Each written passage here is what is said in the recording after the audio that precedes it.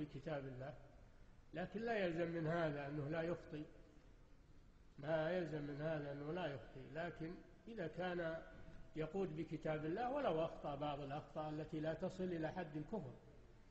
ولو أخطأ بعض الأخطاء التي لا تصل إلى حد الكفر تجب طاعته.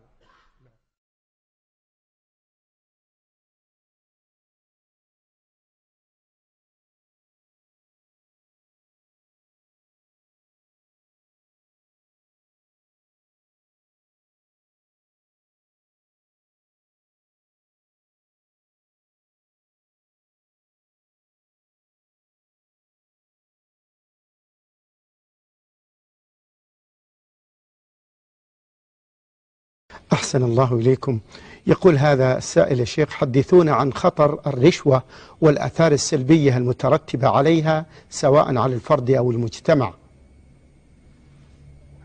قال صلى الله عليه وسلم لعن الله الراشية والمرتشية وفي رواية والرائش وهو الذي يسعى بينهما فكلاهما ملعون لأن الرشوة سحت ومال حرام ومكسب خبيث وأيضا لها آثار سيئة على المجتمع فإن فإنها تغرر بالحكام وتغرر بالمسؤولين والإداريين وتغير الحقوق وتذل أهل الحق وتنصر أهل الباطل فيصبح الأمر فاسدا في المجتمع بسبب الرشوة سواء قلت أو كثرت وسواء سميت رشوة أو سميت حقا أو سميت للشاهي كما يقولون أو سميت هدية أو غير ذلك. لا تجوز الرشوة بحال من الأحوال. نعم.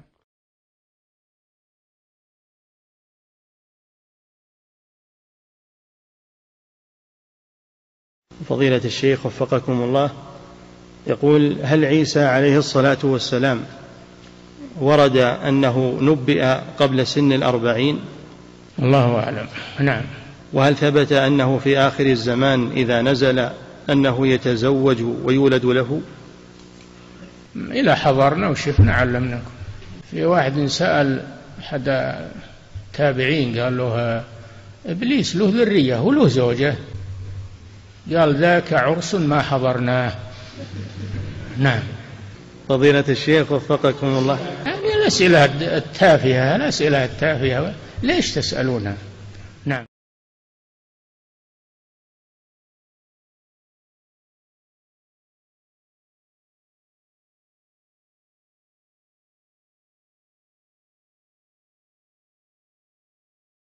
يقول فضيلة الشيخ وفقكم الله هل يجوز الدعاء بالصلاح والتوفيق للحاكم الذي لا يحكم بما أنزل الله بل يحكم بالقوانين الوضعية؟ وهل في ذلك تشجيع له على ذلك أم ندعو له وعليه؟ الكافر الكافر يدعى له بالهداية الكافر يدعى له بالهداية. فكيف بالمسلم العاصي؟ فيدعى بالهداية للكافر وللمسلم ويدعى بالتوفيق لولي الأمر أن يوفقه الله للتوبة ولتحكيم الشريعة. لا بأس بذلك. نعم. الله أكبر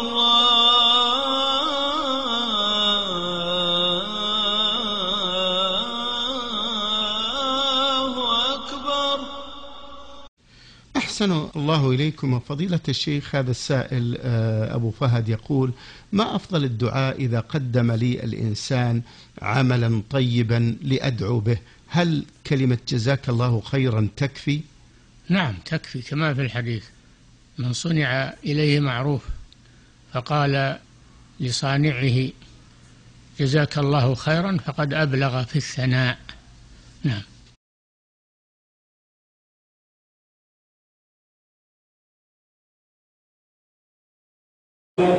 ولم يكن له كفوا أحد. الله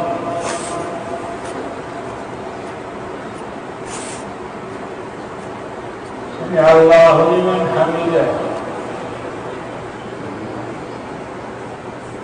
اللهم اهدنا فيمن هديت وعافنا فيمن عافيت وتولنا فيمن توليت وقنا شر ما قضيت.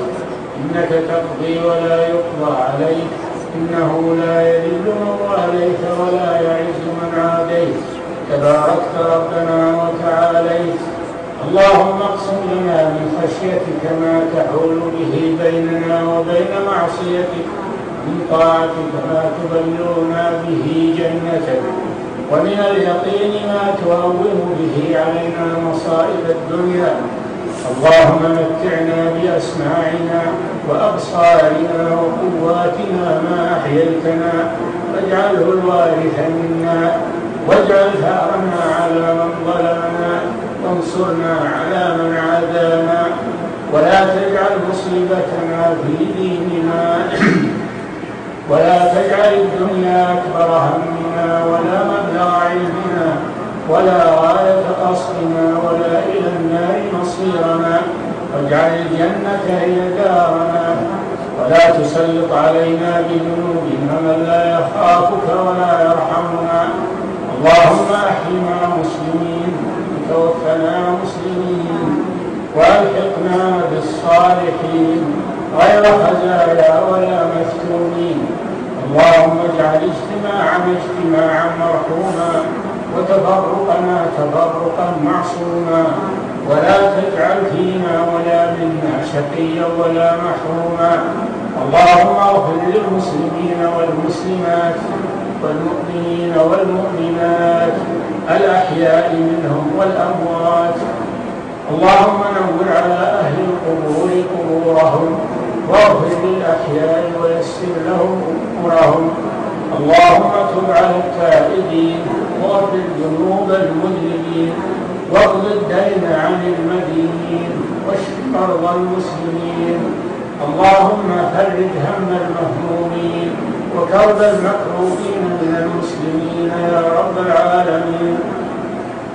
اللهم احفظ علينا أمننا وإيماننا واستقرارنا في أوطاننا وأصلح سلطاننا وول علينا خيارنا واكفنا شر شرارنا ولا تؤاخذنا بما فعل السفهاء منا وقنا شر الفتن ما ظهر منها وما بطن. اللهم احفظ هذه البلاد. اللهم احفظ هذه البلاد. اللهم احفظ هذه البلاد. آمنة مستقرة وسائر بلاد المسلمين عامة يا رب العالمين. اللهم من أراد الإسلام والمسلمين بسوء فأشغله بنفسه. واردد كيده في نحره واجعل تدميره في تدبيره إنك على كل شيء قدير.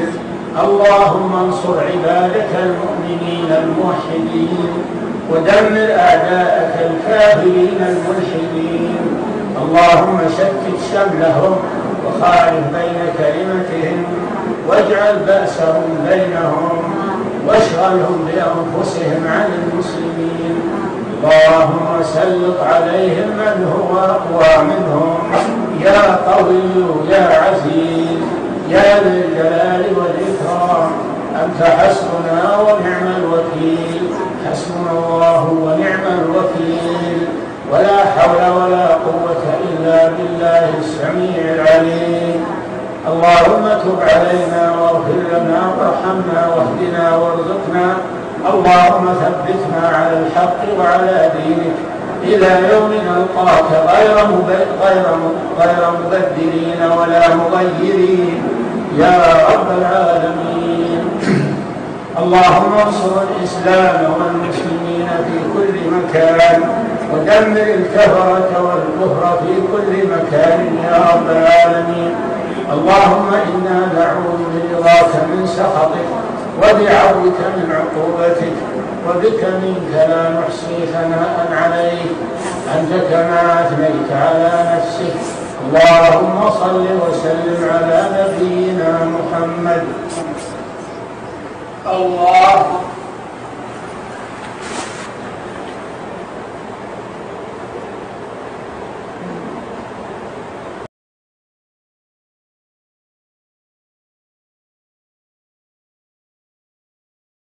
هذا يقول نحن في آه، بلدنا ليس لنا ولاة مسلمين والفرق آه، والفرق الدينية كثيرة فكيف نفعل إن كان ولي أمر الدولة من غير المسلمين تعملون ما تستطيعون.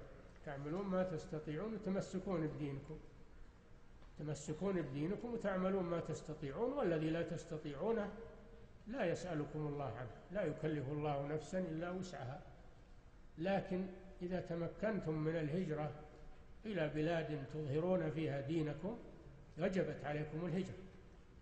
وإذا لم تستطيعوا فعليكم بالتمسك بدينكم وفعل ما تستطيعون. نعم. حتى ييسر الله لكم الهجرة. نعم. قال الحواريون نحن أنصار الله آمنا بالله واشهد بأننا مسلمون. الأخت تقول تقضي المرأة المسلمة غالبا كثير من الوقت في المطبخ مشغولة بإعداد آه، الأنواع من الأطعمة فيفوت عليها اغتنام أوقات الشهر. يا شيخ هل من توجيه لها وهل تؤجر في إعدادها للأطعمة؟ نعم هي مأجورة في هذا لأنها تعد الطعام للصائمين وهذا من التعاون على البر والتقوى فهي مأجورة في هذا. ولا يمنعها الطبخ والعمل من التسبيح والتهليل والتكبير.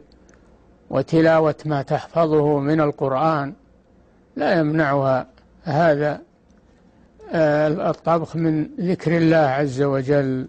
نعم.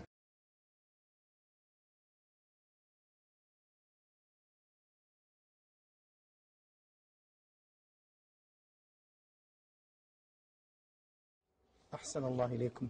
فضيلة الشيخ وردنا هذا السؤال للتو بالفاكس. يقول فيه السائل فضيلة الشيخ صالح جزاكم الله عنا وعن المسلمين خير الجزاء على ما آه، تقومون به من إفتاء السائلين. لقد نويت شراء سيارة عن طريق إحدى الشركات المصرفية بنظام الإيجار المنتهي بالتمليك. طلب مني البنك إحضار عرض تسعيرة للمركبة المراد شراؤها. بعد ذلك يقوم البنك بشراء السيارة المطلوبة وبيعها لي بنظام الإيجار المنتهي بالتمليك. هذا باطل يا أخي. الإيجار المنتهي بالتمليك عقد باطل. صدر فيه قرار من هيئة كبار العلماء منذ سنوات بتحريمه وعمم ونشر. فلا يجوز هذه هذه هذه المعاملة لا تجوز. فليتقوا الله في أنفسهم وبالمسلمين. أعلن هذا وعرفوه. نعم. الشيخ الذي أبرم عقود سابقة. تبطل. تبطل. نعم.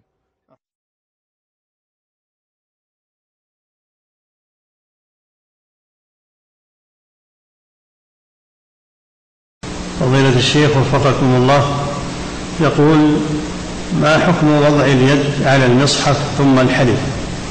لا أصل لهذا. المصحف لا يستعمل لأجل وضع اليد عليه عند القسم. ما ما يستعمل لهذا. ولا تقف ما ليس لك به علم. ان السمع والبصر والفؤاد كل اولئك كان عنه مسؤولا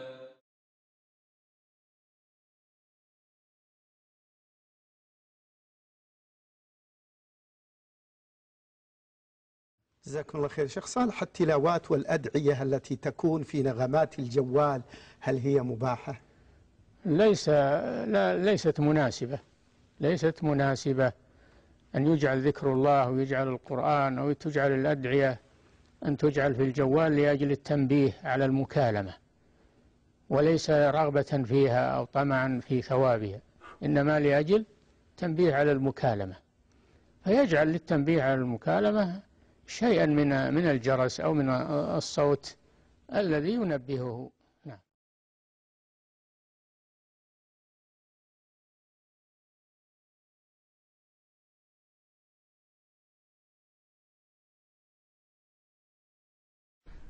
الله إليكم هذا السائل يقول هناك من يتصدر من أهل العلم في الكلام في النوازل سواء كانت القريبة أو البعيدة. هل هذا يعد مما يفرق الكلمة؟ ما ندري عن كلامه ولا يجوز يتكلم في النوازل إلا أهل العلم. فإذا جاءهم أمر من الأمن هذه النوازل أو الخوف أذاعوا به ولو ردوه إلى الرسول يرد هذا إلى سنة الرسول وإلى أهل العلم. وإلى أهل العلم وإلى أهل الرأي من ولاة الأمور أيضا. أهل السياسة وأهل الرأي من ولاة الأمور. مع أهل العلم بالشرع يرد إليهم النوازل لينظروا فيها. نعم. أثابكم الله يقول السائل هل يجوز زيارة القبور للدعاء فقط؟ إيش الدعاء؟ الدعاء للميت؟ نعم.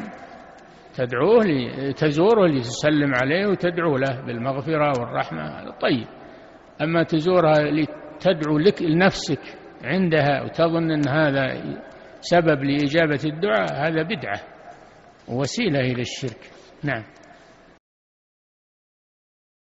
ولا تقف ما ليس لك به علم. ان السمع والبصر والفؤاد كل اولئك كان عنه مسؤولا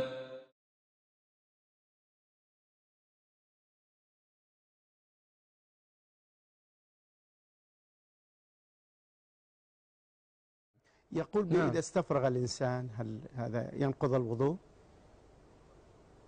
نعم الاستفراغ ينقض الوضوء. ينقض الوضوء وعليه أن يتوضأ لأنه خارج من المعدة فينقض الوضوء. وجاء في الحديث أنه صلى الله عليه وسلم قال فتوضأ. نعم. بعض الأخوات أيضا يسألنا فضيلة الشيخ يكون معها الطفل الصغير فيستفرغ على يعني ثيابها تقول هل هذا أيضا يكون من النجاسة؟ نعم. الاستفراغ نجس. ينقض الوضوء وهو أيضا نجس فيغسل ما أصابه من البدن أو من الثوب. نعم.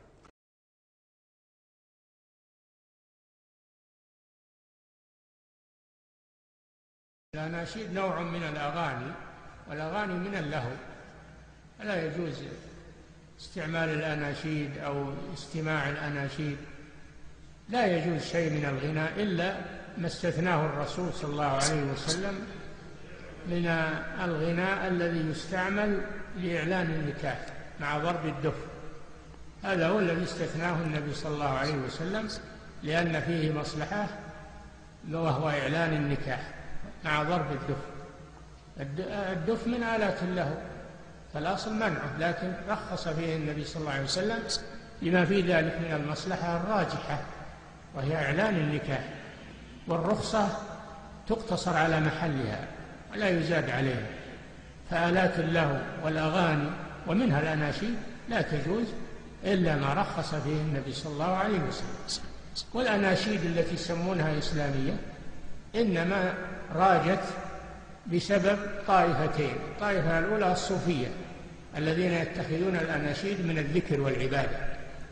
الطائفة الثانية الحزبيون الذين يريدون ترويج مناهجهم فيأتون بالأناشيد لأجل التهييج على على ولاة الأمور أو لأجل التهييج على مذاهبهم ومناهجهم التي يسيرون عليها. ما عرف الأناشيد إلا عن هؤلاء.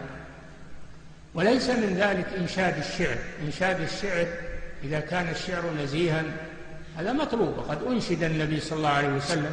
كان حسان ينشد النبي أنشده كعب بن زهير وغيره فالإنشاد غير الأناشيد. الأناشيد تكون جماعية تكون منغمة تكون بأصوات فاتنة. أما الإنشاد فهذا إلقاء قصيدة بصوت بصوت جميل يعني يعجب السامع ويستميله لسماع القصيدة وما فيها من الحكم والمواعظ. فالإنشاد غير الأناشيد.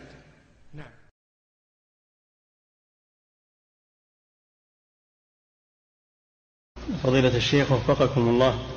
أسئلة كثيرة جدا تسأل عن توجيه فضيلتكم لطلبة العلم ولغيرهم حول ما حدث مؤخرا بشأن الفيلم المسيء للنبي صلى الله عليه وسلم. ما توجيه فضيلتكم حيال ذلك؟ توجيه توجيهنا حيال ذلك الهدوء وعدم يعني الإنكار بهذه الطريقة مظاهرات أو اعتداء على الأبرياء أو إتلاف أموال هذا لا يجوز. وكان الذي يجب أن الذي يتولى الرد عليهم هم العلماء هم العوام. العلماء يردون على هذه الأمور. والتزام الهدوء هم هم يريدون التشويش علينا ويريدون إثارتنا. هذا اللي هم يريدون. ويريدون أن نتقاتل بيننا. الجنود يمنعون وذولا يهاجمون. ويحصل ضرب ويحصل قتل ويحصل تجريح ويحصل. هم يريدون هذا. الهدوء الهدوء يتولى الرد عليهم أهل العلم والبصيرة. أو لا يرد عليهم ولا يسوون من يرد عليهم. كان المشركون يقولون للرسول ساحر كاهن كذاب. إلى آخره. والله يأمره بالصبر. يأمر, يأمر رسوله بالصبر. ولم يتظاهرون في مكة ولم يهدموا شيئا من بيوت المشركين ولم يقتلوا أحدا. الصبر والهدوء حتى يسر الله سبحانه وتعالى للمسلمين فرجا. الواجب هو الهدوء خصوصا في هذه الأيام وهذه الفتن. وهذه الشرور الآن القائمة في بلاد المسلمين يجب الهدوء وعدم التسرع في هذه الأمور والعوام ما يصلحون للمواجهة في هذا. ما جهال ما يدرون. ما يواجه هذا إلا أهل العلم والبصيرة. نعم.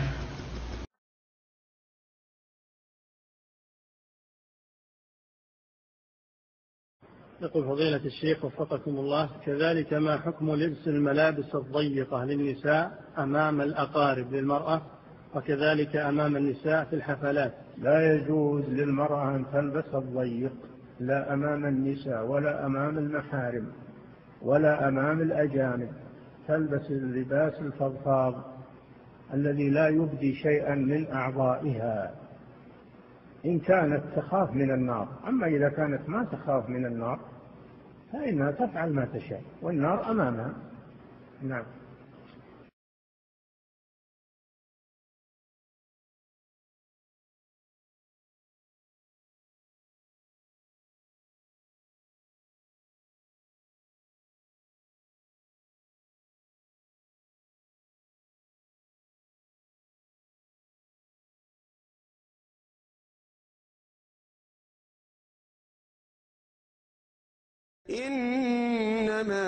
يخشى الله من عباده العلماء. فضيلة الشيخ حفظكم الله يقول خرج داعية في إحدى خطبه يقول إن الملائكة نزلت في سوريا وخرجت مقاطع فيديو للملائكة هناك فما هو تعليق سماحتكم؟ نعم. يقول حفظكم الله أن داعية يقول في إحدى خطبه إن الملائكة نزلت في سوريا. ما شاء الله. نعم. وخرجت مقاطع فيديو للملائكة هناك. أخذت خرجت مقاطع فيديو للملائكة خرجت؟ نعم. مقاطع فيديو إيش؟ للملائكة في سوريا. يعني يصورونهم. ما شاء الله. إيه. يمكن شياطين جو قالوا ذولا ملائكة. نعم. يقول حفظكم الله وأحسن إليكم. عند نزول المطر أهل سوريا فيهم خير إن شاء الله وفيهم صلاح.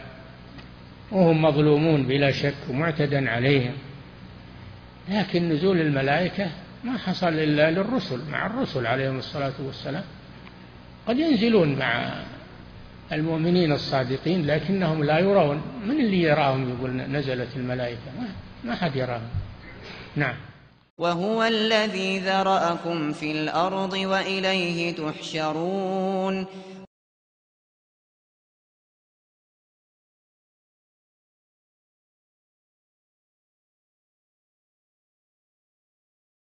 أحسن الله إليكم. هذا السائل يقول ذكر الدعاء أو الدعاء بعد الصلاة بدون رفع اليدين أو برفعهما أيهما الجائز؟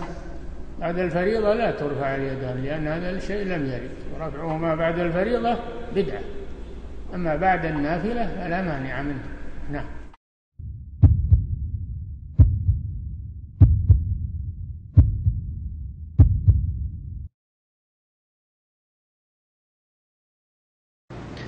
أحسن الله إليكم يقول السائل نسمع في هذه الأيام إعلان النفير العام للجهاد في سوريا. ما هو توجيهكم؟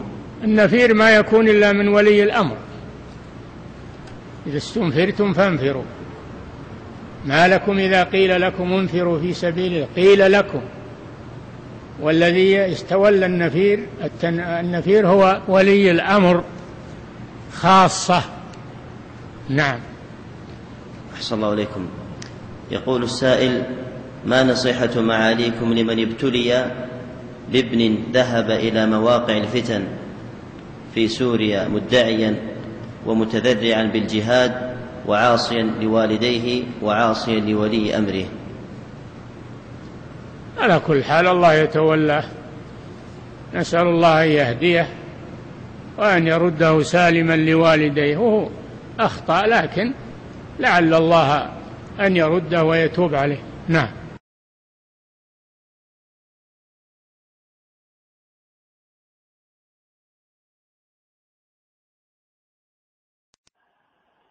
الله عليكم. فضيلة الشيخ نريد كلمة توجيهية للمسلمين حول مذابح البوذيين إخواننا المسلمين في بورما.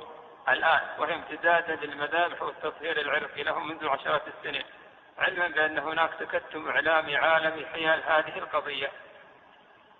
هذه المسألة ليست خاصة بالبورميين الإسلام الآن يهاجم في كثير من بلاد المسلمين.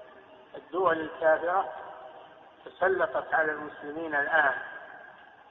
لا تريد أن تقوم لهم دولة ولا تريد أن أن يكون للإسلام وجود. مهما استطاع فهم تعلمون الآن ماذا يعملون مع المسلمين. يسمون هذا بالديمقراطية. إذ يفرضون علينا مذهبهم وحكمهم الكفري. يفرضون علينا الحكم الكفري وهو ما يسمونه الديمقراطية والعلمانية. ولكن يأبى الله سبحانه وتعالى إلا أن يتم نوره فعلينا بالدعاء كثرة الدعاء والإلحاح. على الله سبحانه وتعالى لإخواننا المسلمين في كل مكان أن ينصرهم الله وأن ينقذهم من عدوهم. علينا بالدعاء. لا نملك الآن غير الدعاء. وعلى من عنده مقدرة من عنده مقدرة أكثر من هذا أن يبذل ما يقدر عليه. نعم. زين الذين كفروا الحياة الدنيا ويسخرون من الذين آمنوا والذين اتقوا فوقهم يوم القيامة والله يرزق من يشاء بغير حساب. وما نقموا منهم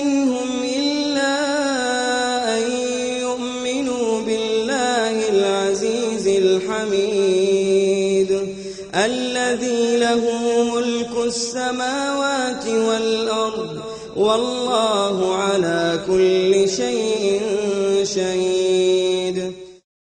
أذن للذين يقاتلون بأنهم ظلموا وإن الله على نصرهم لقدير. الذين أخرجوا من ديارهم بغير حق إلا أن يقولوا ربنا الله. ولولا دفع الله الناس بعضهم ببعض لهدمت صوامع وبيع وصلوات ومساجد يذكر فيها اسم الله كثيرا. ولينصرن الله من ينصره ان الله لقوي عزيز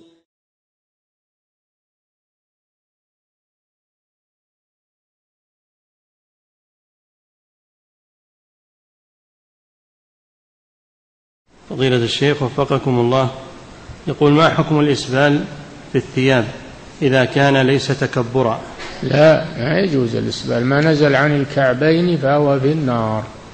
لا يجوز إنزال الملبوس عن الكعبين. وإذا كان معه كبر فالأمر أشد والإثم أعظم. نعم. فالإسبال نفسه محرم وإثم لكن إذا كان معه كبر فالأمر أشد والعياذ بالله. نعم.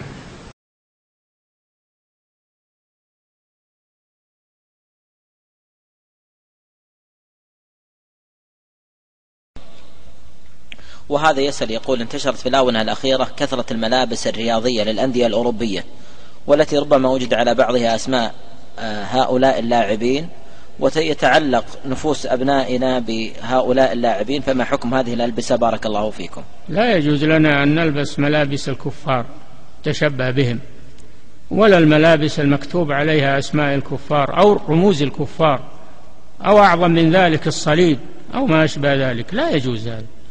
المسلم يلبس اللباس الشرعي ولا يلبس ملابس الكفار والآن مع الأسف معارض الألبسة ما تجد فيها ملابس على مقتضى الشريعة إنما تجد فيها ملابس غربية. تجد فيها ملابس غربية. للذكور والإناث وللكبار وللصغار. فعلى المسلم أنه يبتعد عن هذه الملابس. ولا يشتريها ولا يلبسها ولا يلبسها نساءه ولا أطفاله. الحمد لله يشتري قماشا ويفصله ويخيطه على الصفة الشرعية. نعم. أحسن الله إليكم.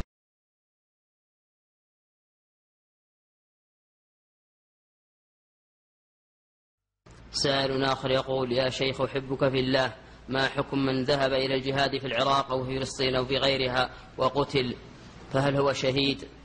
الله أعلم. الله هو أخطأ في هذا. ذهابه بدون آه، بدون ولي إذن ولي الأمر أمر المسلمين. هو أخطأ في هذا وعصى الله سبحانه وتعالى حيث عصى ولي الأمر. وربما يكون أيضا عصى والديه يكون عاقا لوالديه. فكيف يكون شهيدا وهو عنده هذه المعاصي؟ ما أظنه يكون شهيدا والله أعلم. لأن عنده معصيتان عظيمتان. المعصية الأولى معصية الوالدين المعصية الثانية معصية ولي الأمر. حيث لم يأمر ولي الأمر بالذهاب إلى هنا أو هناك. فهذا والمسألة ليست منفلتة. المسألة لها ضوابط ولها ولاة أمور. ونحن رعية تحت راعي فيجب أن نسمع ونطيع ولا نخرج عن طاعة ولي أمرنا. نعم. وقالوا كونوا هودا أو نصارى تهتدوا قل بل ملة إبراهيم حنيفا وما كان من المشركين. صلى الله عليكم سماحة الوالد يقول السائل كيف يجمع بين قاعدة الأصل في اللحوم التحريم وقاعدة الأصل في الأطعمة الحل؟ مو بالأصل في اللحوم؟ الأصل في الذبايح الذبائح التحريم. إلا إذا ذكيت على طريقة شرعية لأن الشارع وضع لها شروطا. فالأصل في الذبائح التحريم إلا ما ذكي على الطريقة الشرعية. نعم. يا جميع من ادعى بدعا واهواء بلا برهان. جاءتكم سنية مامونة من شاعر ذرب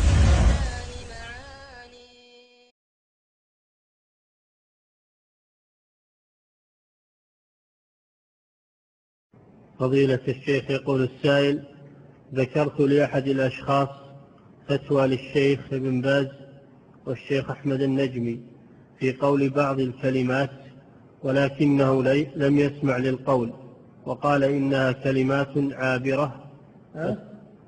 يقول السائل ذكرت لأحد الأشخاص فتوى للشيخ ابن باز رحمه الله والشيخ أحمد النجمي في قول بعض الكلمات ولكنه لم يسمع للقول. وقال إنها كلمات عابرة. عابرة. نعم. أيه. واستمر في ترديدها فما حكمه؟ حكمه أنه رفض الحق. حكمه أنه رفض الحق. اتباعا لهواه. فعليه خطر وعليه وعيد شديد. نسأل الله أن يهديه ويرده إلى الصواب. نعم.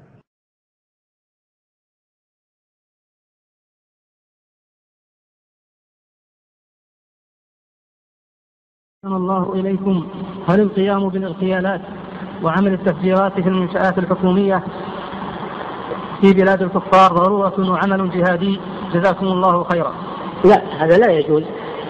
الاغتيالات والتخريب هذا أمر لا يجوز لأنه يجر على المسلمين شرا ويجر على المسلمين تقتيلا وتشريدا.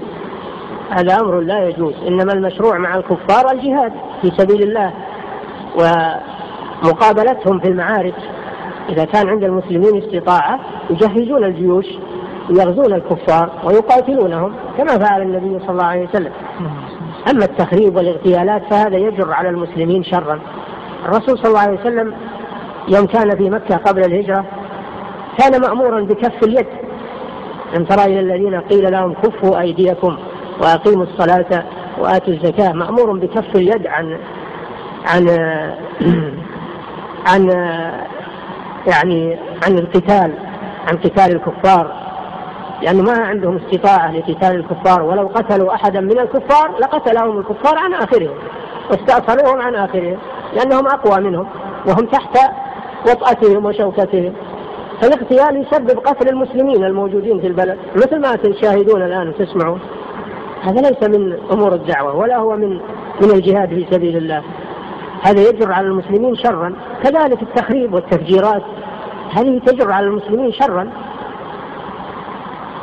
كما هو حاصل لما هاجر الرسول صلى الله عليه وسلم وكان عنده جيش وعنده أنصار حينئذ أمر بالجهاد أمر بجهاد الكفار تكلم الصحابة يوم كانوا في مكة هل كانوا يقتلون في الكفار؟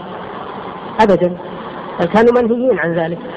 هل كانوا يخربون أموال الكفار وهم في مكة؟ أبدا كانوا منهيين عن ذلك. مأمور بالدعوة والبلاغ فقط. أما الإلزام والقتال هذا إنما كان في المدينة لما قال صار للإسلام دولة. نعم.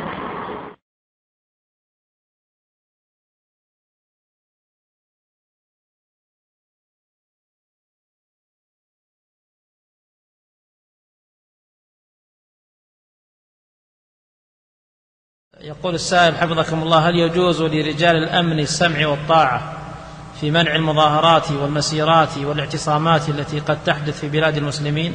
نعم هذا من مهمة من مهمة رجال الأمر أنه رجال الأمن أنهم يمنعون هذه الظواهر التي فيها خطورة على المجتمع وخطورة على آه، الولاية وخطورة على المسلمين فمن حق هذا من من مهماتهم.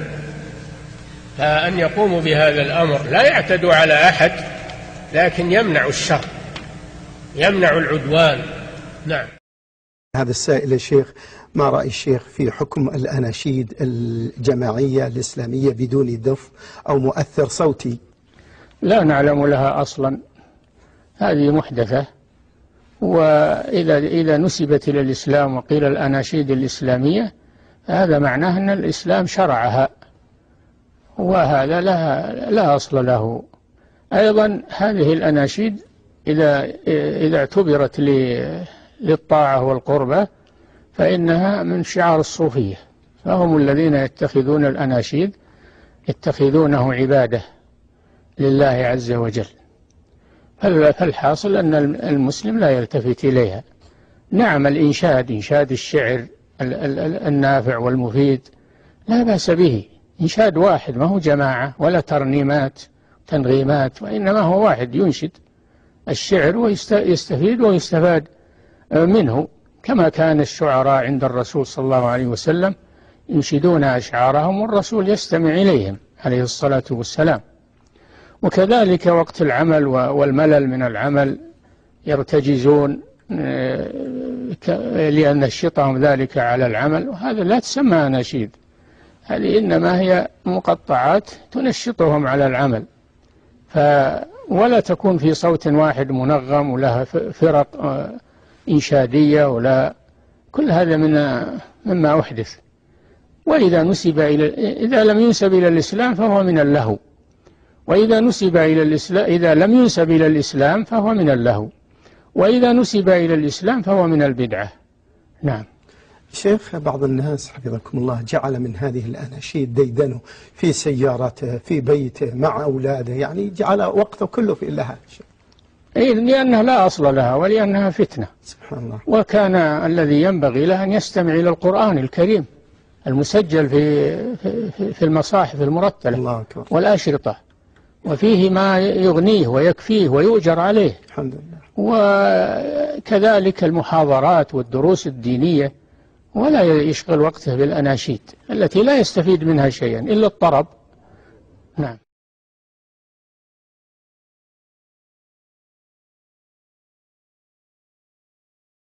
هل حديث أفضل الجهاد كلمة حق عند سلطان جائر يصدق في من ينكر على الحاكم في وسائل الإعلام؟ لا الحديث يقول عنده عند سلطان جائر يعني مشافهة عنده. ما قال إنه ينكر عليه على المنابر وعلى الطرقات يقول عنده. الله جل وعلا قال لهارون لموسى وهارون فأتياه يعني فرعون فأتياه فقولا له له قولا لينا. نعم.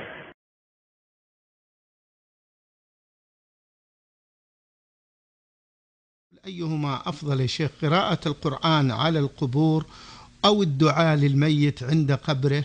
وما حكم قراءة القرآن في ذلك؟ قراءة القرآن عند القبور بدعة ليس فيها أجر بل فيها إثم لأنه لم يرد بذلك دليل. أما الدعاء للميت عند القبر فهذا مشروع أن تزوره وأن تسلم عليه وأن تدعو له أو بعد الدفن تقف على قبره وتستغفر له تسأل الله له التثبيت هذا كله وارد لا بأس. دعاء للميت عند قبره هذا أمر مشروع. نعم.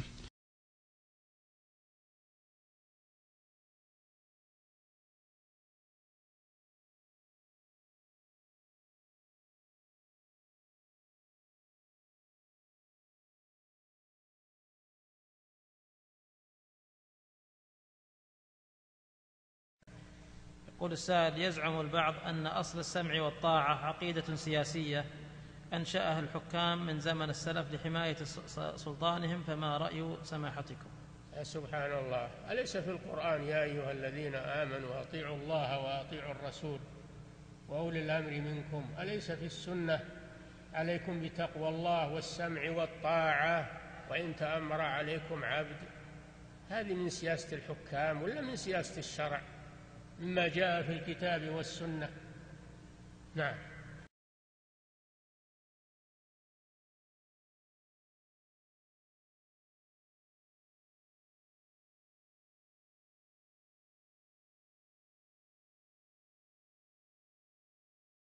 يقول السائل هنالك من يستشهد بحديث النبي صلى الله عليه وسلم الجهاد ماض إلى أن تقوم الساعة.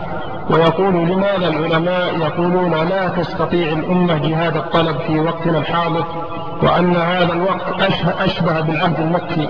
والنبي صلى الله عليه وسلم يقول الجهاد ماض إلى أن تقوم الساعة. نعم الجهاد ماض إذا توفرت شروطه ومقوماته فهو ماضي. أما إذا لم تتوفر شروطه ولا مقوماته فإنه ينتظر حتى تعود للمسلمين قوتهم وإمكانياتهم واستعدادهم ثم يقاتلون عدوهم أنت معك مثلا بارود يعني معك بارود أو فرد أو تقابل طائرات وقنابل وصواريخ ما تقابلها هذا بأس شديد. إذا كان معك استعداد يربو على استعدادهم أو مثله. تقابلهم أما إذا كان ما معك شيء لا تلقوا بأيديكم إلى التهلكة وهذا يضر المسلمين أكثر مما ينفعهم إن كان فيه نعم.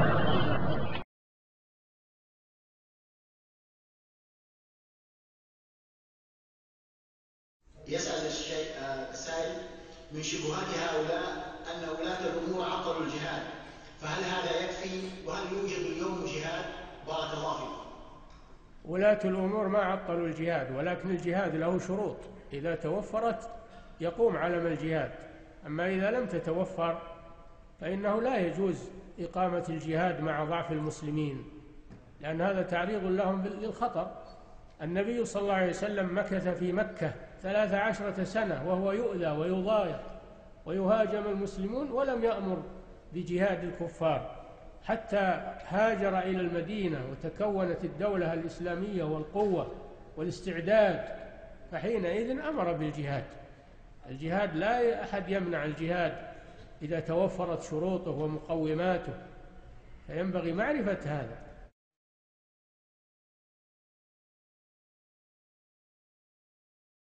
أحسن الله إليكم صاحب الفضيلة. هل هذا القول صحيح؟ إن الإمام هو من يجتمع عليه جميع المسلمين في أنحاء المعمورة من الشرق إلى الغرب. هذا كلام الخوارج. هذا كلام الخوارج. الإمام من بايعه أهل الحل والعقد من المسلمين. ويلزم الباقين طاعته. نعم. هو لازم إنه لازم يبايعون كلهم بالمشرق والمغرب والرجال والنساء ما هو هذا منهج الإسلام في عقد الامامه نعم.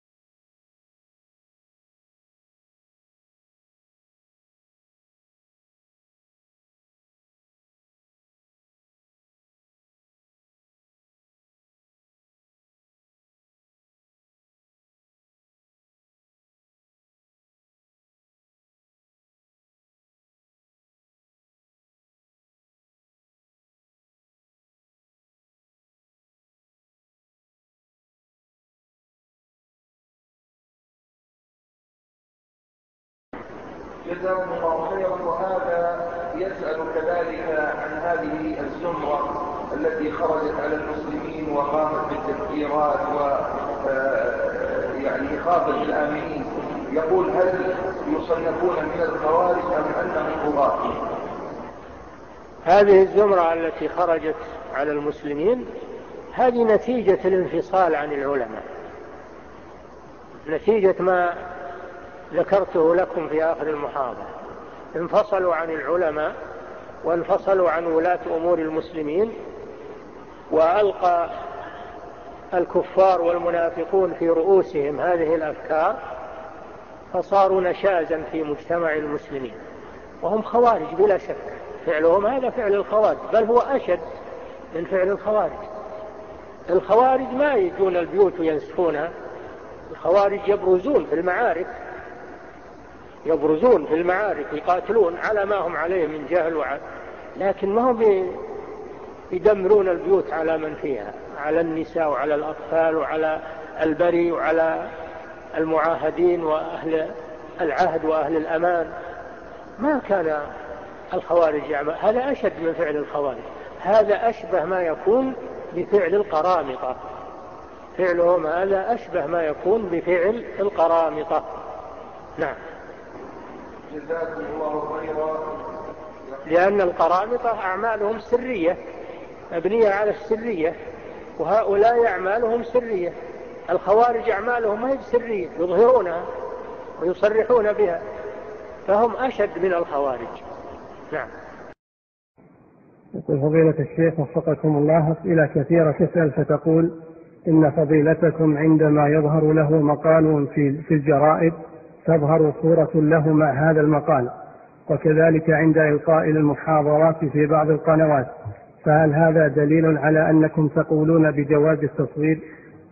ليس هذا دليلا على أنا ما ما ما أمرتهم ولا طلبتهم وإنما هم يأتون. أخذوا صورة الشيخ ابن باز وهو يحرم هذا ويحرج من يفعله ويتلو صورته في المجامع وفي وفي المناسبات. هذا اسمه عليهم هم. اسمه عليهم هم. أما نحن فلا نرضى بهذا ولا أمرناهم به ولا شاورونا عليه.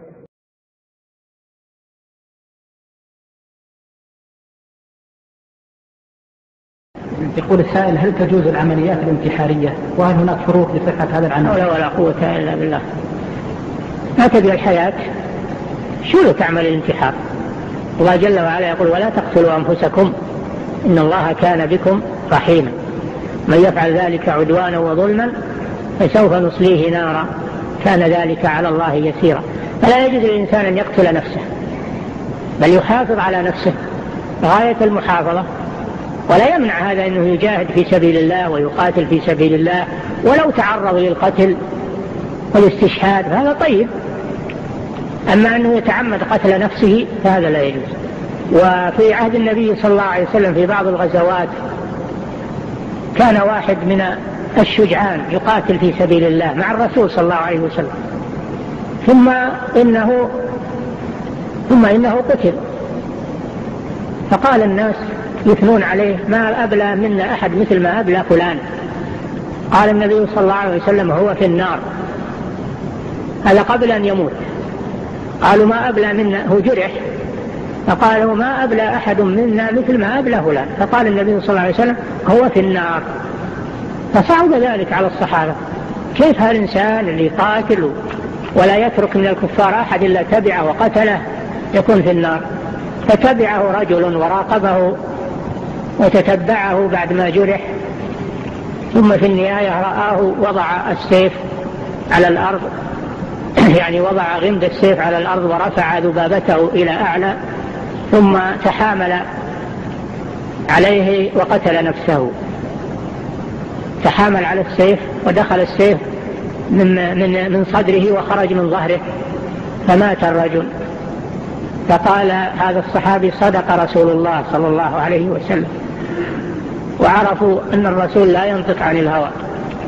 لماذا دخل النار مع هذا العمل؟ لأنه قتل نفسه.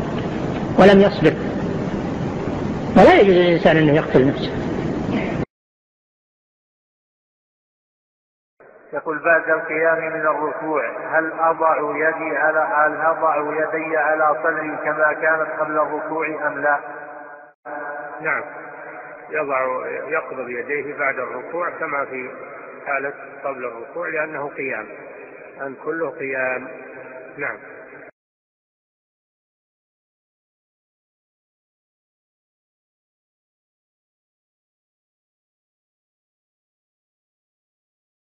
يسأل أحسن الله إليكم عن ما يستطيع أن يقدمه لإخوانه في سوريا وفي الشام وهل يجب الجهاد في مثل هذا الزمان أم لا؟ الجهاد يجب إذا دعا إليه ولي الأمر. إذا دعا إليه ولي أمر المسلمين وشكل جنودا للجهاد فإنه حينئذ يجب على من عنده الاستطاعة واستنفره الإمام أن ينفر. إذا استنفرتم فانفروا. ما لكم إذا قيل لكم انفروا في سبيل الله إذ ثاقلتم إلى الأرض. لا بد أن يكون الجهاد تحت راية ولي الأمر المسلم. أما الأفراد وكل يأخذ السيف والسلاح هذا هذا ما ما ينتج شيء. هذا ينتج سفك دماء ولا ينتج اجتماع كلمة ولا ينتج شيئا. هذا شيء مجرب وواقع. واجبنا الدعاء لإخواننا المسلمين. الدعاء لهم بالنصر الدعاء لهم بالتوفيق الدعاء على من ظلمهم. نعم.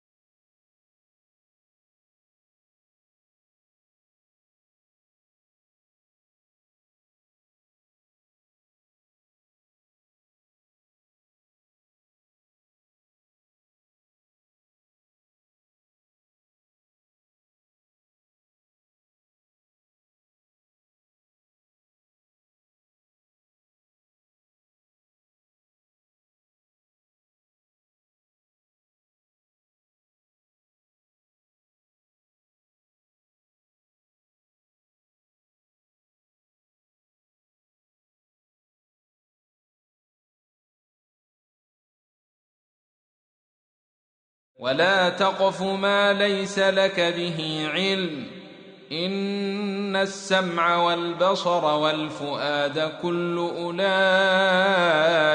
كان عنه مسؤولا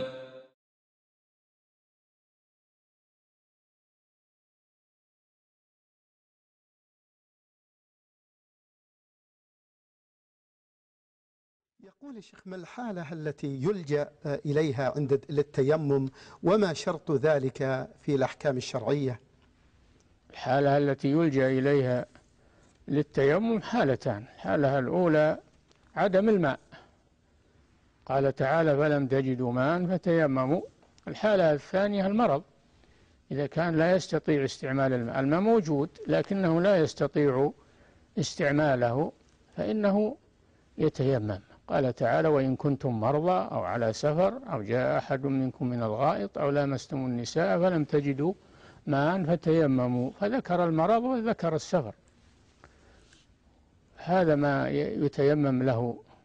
وكذلك يلحق ب يلحق بالمرض إذا كان الماء لا يكفي لوضوئه ولحاجته وطبخه وسقي آه، زملائه وسقي آه، دوابه التي معه.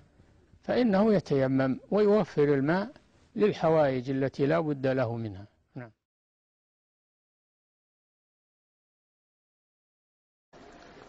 أثابكم الله. هذا سائل يقول أنا شاب التحقت في بلدي بالسلك العسكري. أه؟ يقول أنا شاب التحقت في بلدي بالسلك العسكري. واشترطوا علي حلق اللحية فهل أطيعهم في ذلك؟ لا. اترك العسكرية يرزقك الله غيرها. نعم.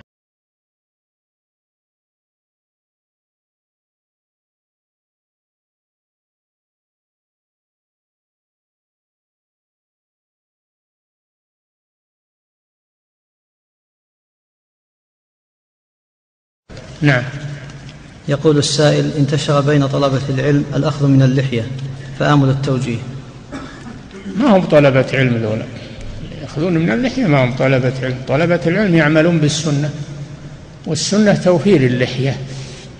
اللي يأخذ من اللحية؟ ليس من طلبة العلم. نعم. ولا تقف ما ليس لك به علم.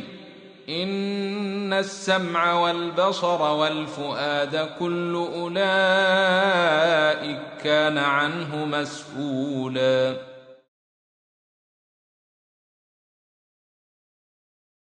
يقول السائل ما حكم الصور الفوتوغرافية؟ وهل يجوز الاحتفاظ بالصور؟ الصور حرام بجميع أنواعها فوتوغرافية أو غيرها لعموم الأحاديث. النبي صلى الله عليه وسلم أخبر أن أن المصورين هم أشد الناس عذابا يوم القيامة ولعن المصورين. والأحاديث في هذا صحيحة وعامة سواء كان التصوير فوتوغرافيا أو رسما باليد أو نحتا. في الحجارة أو بالبناء كله حرام لعموم الأحاديث ومن استثنى شيئا منها فعليه الدليل. ما في دليل على الاستثناء. لكن وكذلك حمل الصور واستعمالها وجعلها في البيت. النبي صلى الله عليه وسلم يقول لا تدع صورة إلا طمستها.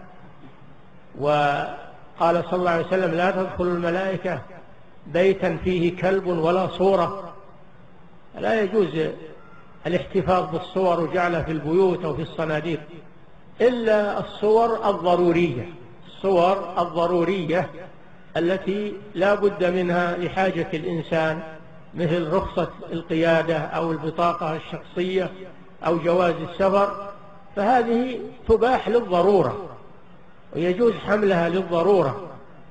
أما حمل الصور وجمع الصور واقتناء الصور للذكريات أو للاحتفاظ بها هذا أمر محرم والواجب إتلافها.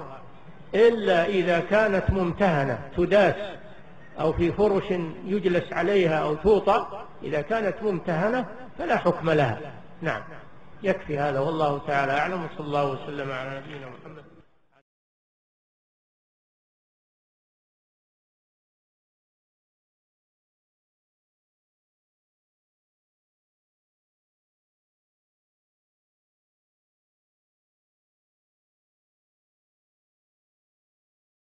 يقول السائل فضيلة الشيخ هنالك من يحتج بجواز قتل الأنفس المعصومة قتل النفس بالحزام أو غيرها من متفجرات في قصة الغلام لأنهم يقولون أن المسلمين إذا لم يكن لهم طريقة لطرد العدو من أرضهم وبلادهم فإنه يجوز لهم فعل هذه العمليات.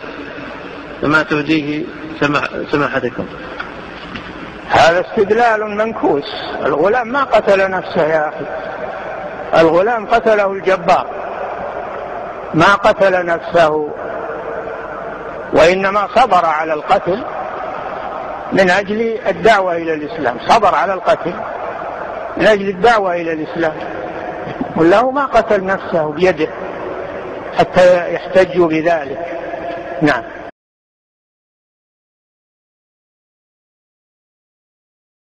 هل يجوز تمثيل الصحابة أو الصحابي عمر رضي الله عنه في مسلسلات تاريخية؟ هذا لا يجوز بالإجماع. أجمع العلماء المعاصرون على تحريم ذلك وصدرت فيه قرارات. قرارات هيئة كبار العلماء والمجامع الفقهية بتحريم تمثيل الصحابة رضي الله عنهم. ورابطة العالم الإسلامي. أجمعوا على هذا. نعم. لكن هذول يدورون دراهم. يحطونها المسلسلات يبيعونها يبون دراهم. ولا عليهم من حلال ولا حرام. نعم. هذه الأخت تقول بالنسبة لزيارة قبر أبي والدعاء له فنحن من عادتنا أننا نقوم بزيارة قبره والدعاء له ووضع بعض الأشجار على قبره. كل هذا لا يجوز. أولا زيارة المرأة للقبور لا تجوز لأن النبي صلى الله عليه وسلم لعن زوارات القبور متخذين عليها المساجد والسرج. النساء لا تزور القبور. وضع الأشجار على القبور كذلك لا يجوز لأن هذا وسيلة لأن هذا بدعة ووسيلة إلى الشرك. وقال اركبوا فيها. بسم الله مجريها ومرساها. أحسن الله إليكم. هذا السائل يقول ما حكم السلام على المصلي وكيف يرد المصلي إذا سلم عليه؟ لا بأس بذلك ويرد بالإشارة.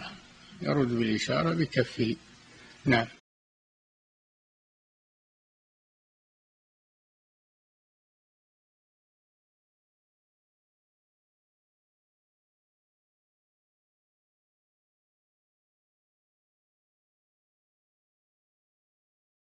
فضيلة الشيخ وفقكم الله. يقول هل هل يجوز لمن يحفظ القرآن أن يتحرك عند حفظه فيميل إلى الأمام بصدره ثم إلى الخلف يتحرك؟ لا ما له أصل هذا. ما له أصل. والواجب الإنصات عند تلاوة القرآن وعدم العبث والحركة. نعم. هذا شغل الصوفية التمايل هذا شغل الصوفية. وقد ذكر أنه من عمل النصارى عند قراءتهم للإنجيل. نحن منهي عن هذا. نعم.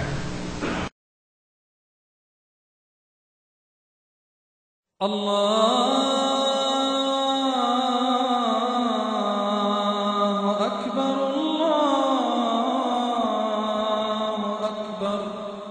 يقول ما حكم قول أعوذ بالله السميع العليم من الشيطان الرجيم عند بدايتنا للقراءة وهل هذا وارد في السنة؟ نعم. قال الله سبحانه وتعالى فإذا قرأت القرآن فاستعذ بالله من الشيطان الرجيم. تقول أعوذ بالله من الشيطان الرجيم وإذا قلت أعوذ بالله السميع العليم من الشيطان الرجيم فلا بأس. الله جل وعلا قال فاستعذ بالله إنه هو السميع العليم. نعم.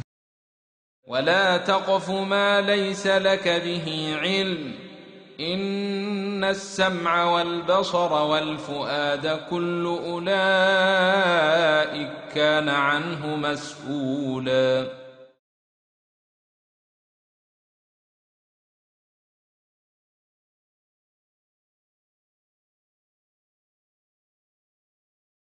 ما حكم السترة في الصلاة؟ وهل تجوز الصلاة بدون سترة؟ ولو أن أحدا يمر يمر أمامه؟ السترة في الصلاة سنة ليست واجبة. هي سنة.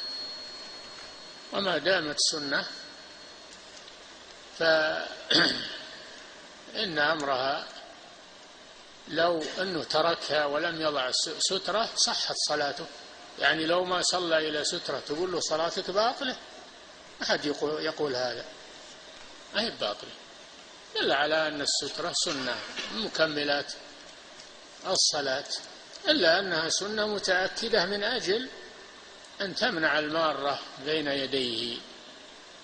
أما إذا لم يكن أمامه سترة فحري أن يمر الناس من بين يديه. ففيها فائدة عظيمة. لكنها ليست واجبة. والمرور بين يدي المصلي إذا كان لضرورة فإنه لا بأس كما في المسجد الحرام والمسجد النبوي والازدحامات ما في بأس الضرورة. أما إذا كان ما في ضرورة فالمرور محرم.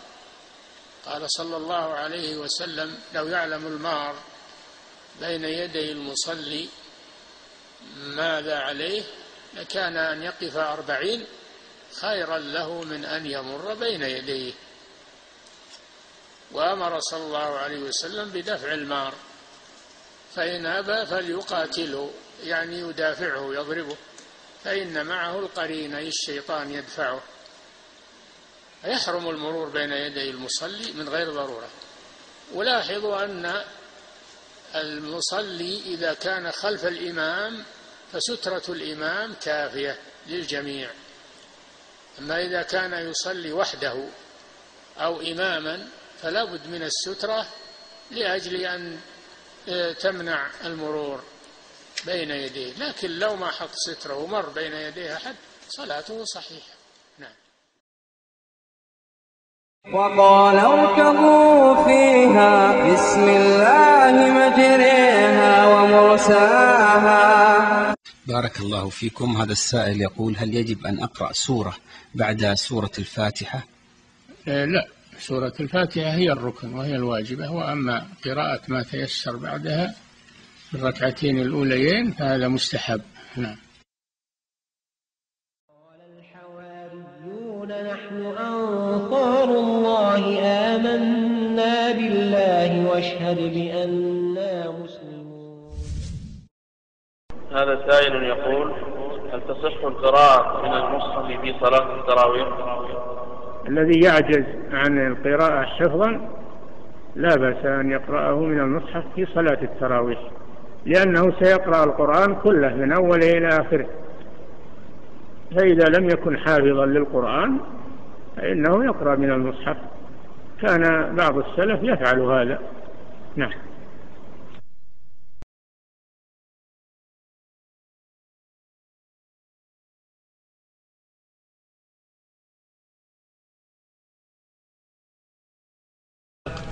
نعم. ويقول هذا السائل في بعض الدول والتي تسمى بالإسلامية يحكم القانون وتعبد فيها القبور ويطاف بها فهل تعتبر بلد إسلامي أم بلد شرك؟ ما دامت كما وصفت فيها الشرك ظاهر والحكم بغير ما أنزل الله فليست بلادا إسلامية نعم.